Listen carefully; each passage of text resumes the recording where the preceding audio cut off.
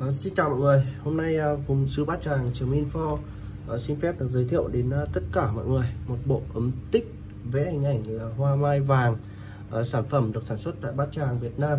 Họa tiết được vẽ tay. Màu sắc của sản phẩm sẽ là màu bền vĩnh cửu với thời gian và dung tích của bộ ấm tích này là 1,5 lít. Này, này chúng ta cạo thoải mái. Cái họa tiết này là bền này. Cạo thoải mái. Cạo đẹp vô không sợ bị xước hay là bị mờ họa tiết gì cả. Nó vẫn như thế này mãi. Rất là đẹp. Trong lòng này tráng men sạch sẽ ở chiếc đĩa lót của sản phẩm. Cũng có hình ảnh là mai vàng rất là đẹp. Một bộ thì sẽ bao gồm một ấm 1,5 lít ờ, 6 cốc và 6 đĩa lót của cốc đường kính miệng của sản phẩm là ờ, đường kính miệng là 6,8 này. Chiều cao là 8 cm đường kính miệng đĩa là 12,5 đường kính miệng đĩa là 12,5 nhé. Chiếc cốc cầm rất là vừa tay.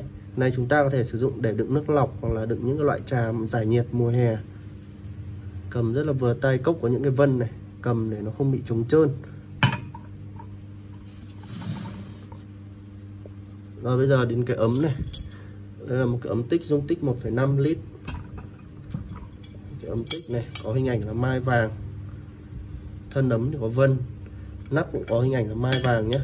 Bên trong lòng của ấm này thì được tráng men hết rồi. Dùng rất sẽ là ok sạch sẽ. Cái này mua một lần chúng ta dùng cả đời. Mua một lần dùng cả đời. Mặt bên của sản phẩm cũng là hình ảnh mai vàng. Sản phẩm sẽ có cái quai đồng như thế này chúng ta rót nước này quay đầu mình rót nước nhé Đấy. ta sẽ rót nước như thế này. Đây là đáy của sản phẩm đây. Bác nào mà quan tâm đến bộ ấm tích này thì có thể liên hệ trực tiếp qua số điện thoại đang để bên trên video. Nó giá một bộ như này là 750.000 đồng, chưa có vận chuyển.